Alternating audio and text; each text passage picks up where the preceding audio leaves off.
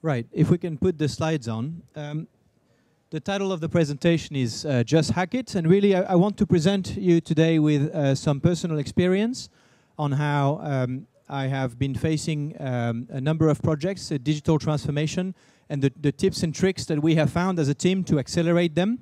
And I want to give you those, those practical tools and, and maybe take your, your questions after it as well. So starting with the, the problem statement, why accelerating uh, digital transformation? What sort of obstacles I've been facing in the past? Um, this is my, my background. Before I joined OraQ, I come from a, a, waste company, a global company called Suez. So it's a company with great engineers and uh, commercial people, probably as a waste company, a little bit behind on the digital front initially, because that's not our specialty, but facing, as many other industries, digital transformation challenges, we had to build in a few years that I was there an e-commerce platform that was new for us, a customer portal, price engines, numerous applications that we had to build in a very short amount of time. But this used to be uh, the process that existed initially when I started on this, uh, working on this challenge, a project uh, management cycle uh, that I found very cumbersome, uh, where we would start with an ideation phase, moving on to requirements, moving on to um, then a build, and, and, and finally a delivery. Uh, not only is a process taking uh, perhaps too many stages, but I would find that at each um, point of the um, of the of the process, I don't necessarily have the information required for the board to make a decision. Because if you look at this diagram, you'll find that I don't have a working prototype to show my customers until very late in the process when I've already invested at least six months of work into building something and conceptualizing it and, and developing a business case for it. Um, so for me, that, that was very backwards, uh, which is why we've tried to find ways to make development cheaper, quicker, so we could present prototypes uh, to our customers earlier. So this is what a typical uh, business case would look like in my head if I looked at the, the possible risk of a project and the possible reward. The truth is, at many um, beginning of the projects, you have no idea. The risk is anything from here to there. The reward is anything from here to there. It's a big gray area to present to a board, um, which is why I, we shifted it and we started working on prototypes instead, rather than uh, making up what the, the results would be. The first uh, thing I'd like to share is to start segregating your architecture and your landscape into three tiers. This is a diagram that some of you have probably already seen. I find it very useful. Start differentiating what I call the system of records from what we call the systems of innovation and differentiation. The systems of records are the things that are not yours, they are shared with other companies, your competitors, other industries. They will be your finance system, your CRM. Those are needs that you have that you share with other companies where you don't necessarily need to innovate if you find a good tool.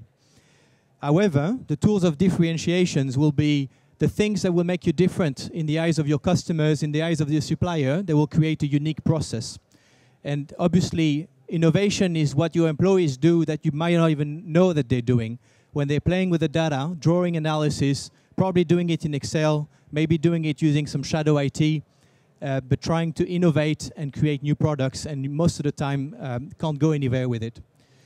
Now, traditionally, in the companies I've worked with, um, there was um, a, a, mantra that came coming back in the 2000s, which was um, we can't be dealing with large integration projects anymore. There was uh, a recurring thought that integration projects was uh, always slowing us down. And what we always try to do is to have an ERP or an operation system that would cover everything from operations to finance to reporting to customer portal because we didn't want to deal with large integration projects. And I think that landscape has now changed. And this is where we can start breaking up uh, the solutions that we use for our system of records from the solutions where we can differentiate ourselves. And so this is uh, the way we, we propose to segregate it. So for those systems of record um, that you share with others, you probably don't need to maintain IP. You're probably happy to get something off the shelf, and you're probably happy to install something that you will keep for a number of years. However, when it comes to your systems of differentiations, then you need to move away from those suppliers and you can consider taking off-the-shelf specialist product that will make you different or even better, if you can, and if you know how, start building your own custom code. This is how you will differentiate your design, of course, but this is also how you will start building IP that you can maintain. And we found that after several years of working with um, existing industry suppliers at developing custom solutions, we were frustrated at them taking it to the market to our competitors when we felt that we had contributed a lot in terms of requirements. So there comes a moment in your journey uh, where you're actually going to start wanting to protect your IP, which is where custom code comes in. And so um, one solution I'd like to propose, and that's my second point, is to work with low code. And I don't know uh, how many of you have heard about what we called low code. It's an extraordinary tool uh, for companies that want to accelerate their digital transformation, to um, prototype much faster, to build MVPs much faster, and to uh, escalate them into uh, scalable applications uh, much quicker. There's a few players out there um, I've worked for the last few years with a company called Mendix, that's part of the Siemens technology stack. Um, I think a very comparable competitor is probably OutSystems. A few out there, if you look at the Gartner uh, chart. Um, I think the, the two on top are the ones I would recommend for the, the scope of what we are talking about today. And I'll be talking about Mendix uh, specifically that I like working with.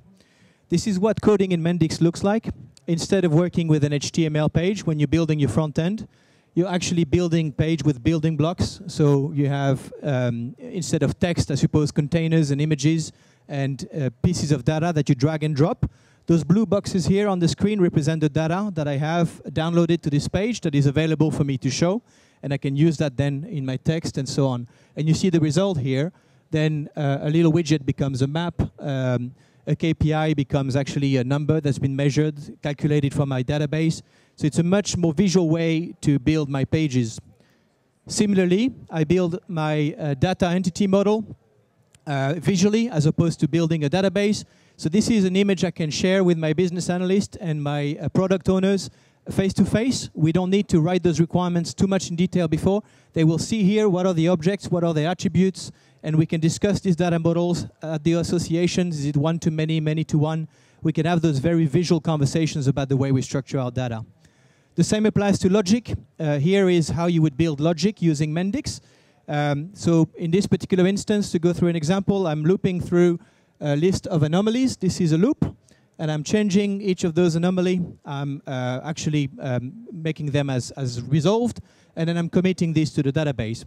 There's two actions in there. It's very simple, and anybody that has been working on the project understand what this logic is doing.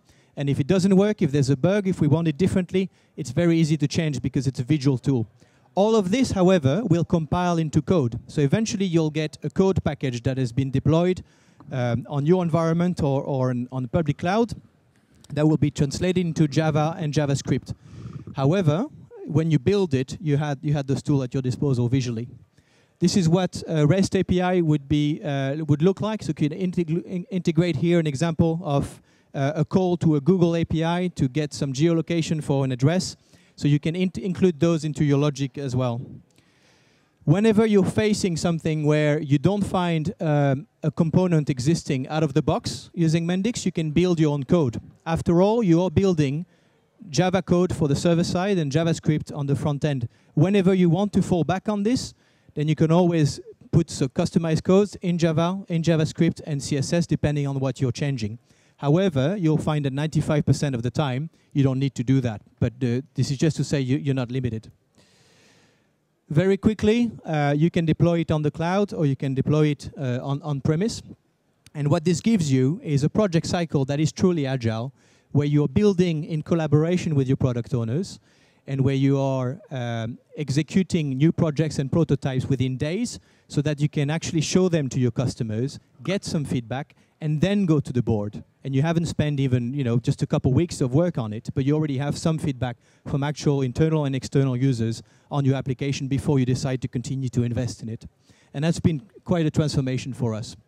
So if you wanted to um, look at Mendix as a product, I would advise you to go on their website. It's a, a Siemens product, but they have their own uh, company name. It's mendix.com. You'll find a lot of training. Um, there's a free version for people to, to get started and publish your first uh, mobile apps or, or websites. Um, so I, I, encourage you all to pick it up. You don't need development skills to get started.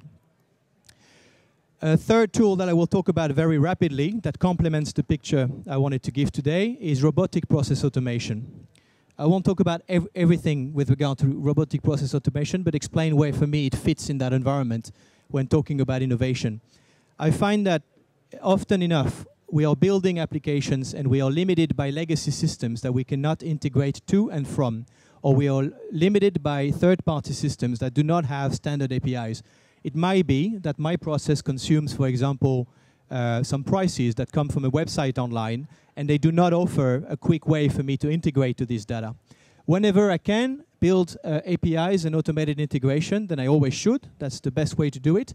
When I can't, RPA is a formidable tool, I can't say this word, to automate uh, either scraping data from a screen and capturing it and processing it in your system or inputting data in another system. It uses the normal interface as you would enter data in your SAP screen or your Salesforce screen or your whatever legacy application.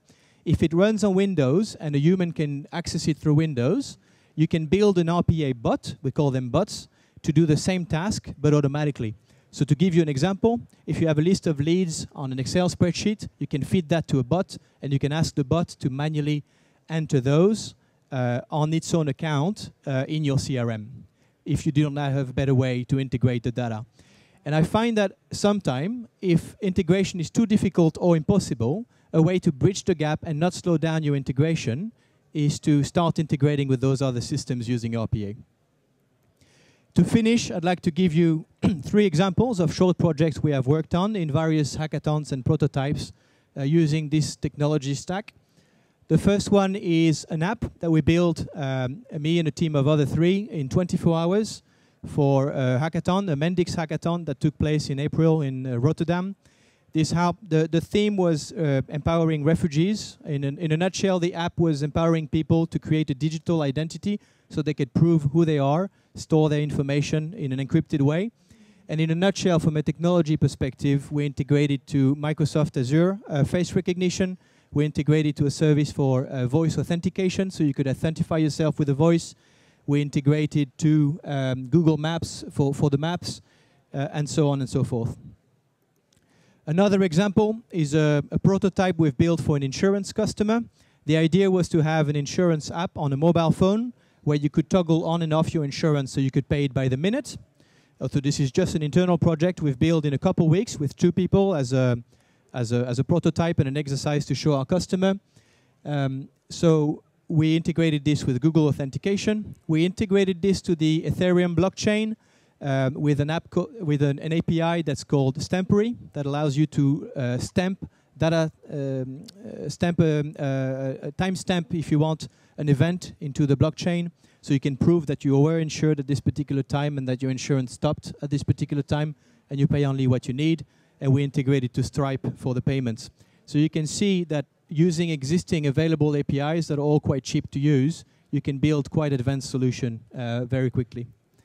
The last example is a real life example. I said my previous company was Suez. Um, one of the Mendix project that we built uh, was this e-commerce uh, portal if you need to buy waste services, this is a great customer um, e-commerce place to buy uh, bins and, and waste services. Um, you can find your quotes and, and, and, and buy your bins in there. It's for uh, businesses. There was no e-commerce before, so we went from zero revenue to half a million just in the first few months.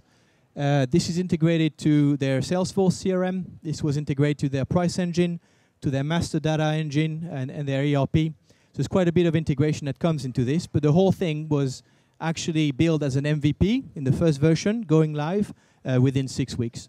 So you can see the, the speed of that, because it would have taken me months and months to convince the board to build that product. But if you can actually bring it to life and just test the market and see how it works, you have a much more compelling case to continue investing in it. So those are the examples and the tips and tricks I wanted to share, and I'm happy to take questions now. Thank you very much.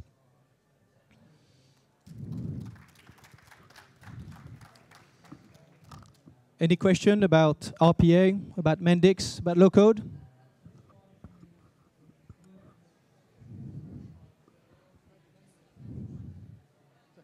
Was it auto was, was it automation anywhere or automation everywhere? I, I can't hear you well, but I think the question is, is it automation anywhere? The, the product. The product is called Automation Anywhere. It's, it's one of the leading uh, RPA software. There is a community edition, so if you wanted to create a small bot, just that you know pushes data in one of your system, if it's in Windows, you can run with uh, Automation Anywhere, and you can try that for free and deploy it for free on your machine um, uh, as a start. And there's again, you don't need, I think, a development background to get started with this. There's a lot of training online. Anybody else? Well, in that case, thank you very much for your time today.